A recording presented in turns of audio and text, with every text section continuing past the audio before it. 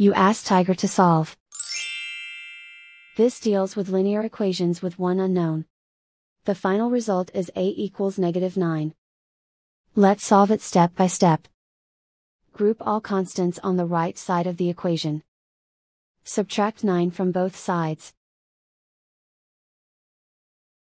Simplify the arithmetic.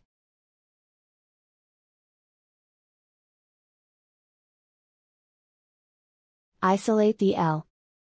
Divide both sides by negative 5.